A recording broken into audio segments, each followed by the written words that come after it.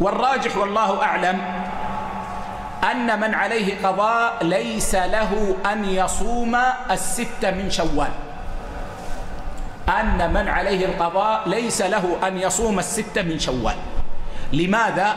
لأنها لم تشرع في حقه لم تشرع في حقه كيف لم تشرع في حقه؟ هذه هذه الست من شوال إنما شرعت بقول النبي صلى الله عليه وسلم من صام رمضان ثم أتبعه ستا من شوال كان كصيام الدهر كما عند مسلم في الصحيح. اذا هذه الأيام الست شرعت لمن؟ لمن صام رمضان ثم أتبعه ستا من شوال.